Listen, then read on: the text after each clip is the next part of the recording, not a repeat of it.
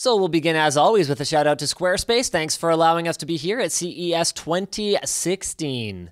This, my friends, is the kind of stuff I get really, really excited about. Portability and performance with no compromises. I was trying to find another P word. It didn't happen. Anyway, this is the ROG XG2, very creatively named. The X is for extreme, the G is for gophers, and the 2 is for second generation. None of which is obviously right. It's external graphics. I don't know what the 2 is. Maybe they had an internal project that got canned somewhere along the way. But this one looks like it turned out pretty darn well. So, in terms of the size, I would say it's fairly comparable to that Magma thing that I checked out about three years ago. In terms of the functionality, it bears very, very little similarity. So they've got one of those like badass, like uh, plasma tube things going on in the front. This is a bit of a new look for them. I'm not sure if that's going to make it into the final product or not. Apparently, yes, that will make it into the final product because this is not the final product. Look, the whole thing just like comes apart. So there's a couple cooling fans in the top and what they've got down there looks like a completely custom PCB that is converting two external DC power bricks. So in this case, each of them is about a 220 watt external brick into whatever connectors you want. There's actually a 24 pin ATX connector in there, although I don't know what that would be for in this form factor. But what's actually connected to it now is two PCI Express power connectors and we have a GeForce GTX 980 Ti running here, and it looks like ASUS has pretty much gotten around the restrictions in terms of space for GPUs by just making the box a little bit bigger. So you can have tall cards, you can have long cards, you can have rear blower cards, you can put in pretty much whatever you want. But that doesn't mean that the entire ecosystem will be totally open. ASUS has not yet determined if the product, while being definitely not validated on other makers' notebooks, will be compatible or whether it will be locked out. And I personally feel pretty strongly it shouldn't be locked out because if you're willing to buy the box, you've already given ASUS your money. So let us know in the comments if you agree with me. In the meantime, let's move on a little bit further. So it adds not just display connectivity to your laptop. It not adds not just more GPU horsepower, but it also acts as a USB hub. And I wonder, does it have a LAN port back here, or did you not manage to squeeze that in there? Looks like no LAN port, unfortunately.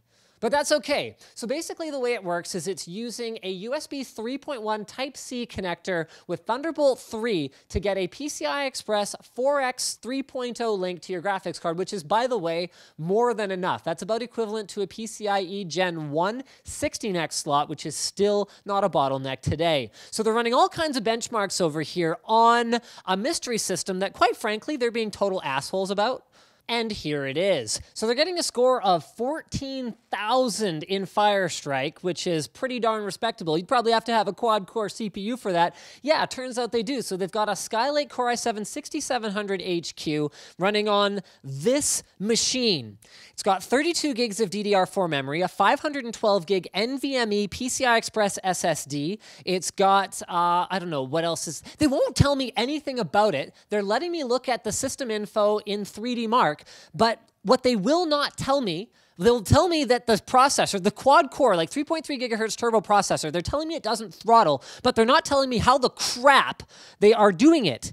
Um, I don't believe them that it's an early prototype, blah, blah, blah project that doesn't even have a name. It's bullshit because the hinge on this thing is gorgeous. The build quality of it is immaculate. This is not an engineering sample. I don't buy it at all. In terms of I.O., it's got a mini display port. It's got two USB Type-C. So one of those is for data over to that external box, and one of them is actually for, uh, for charging power. It's got a headphone jack. It's got a couple couple USB 3 point, probably ones, I would guess, but who knows? They're probably not going to tell me that either. It's got a mic, it's got an SD card slot, and this thing is gorgeous. They're telling me the display is 1080p. I don't believe them because it doesn't look, it doesn't look like it keyboard feels keep okay okay the keyboard's a bit mushy maybe that's something they still have some work to do on but basically if this is a quad core that doesn't throttle in this form factor with that external box, then they basically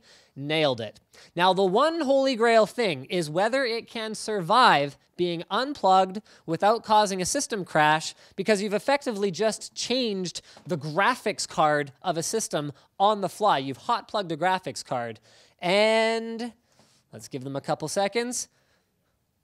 They're advertising that it is functionality that it will have. They're not necessarily saying that it works now, so maybe it doesn't work yet. Ah, yes.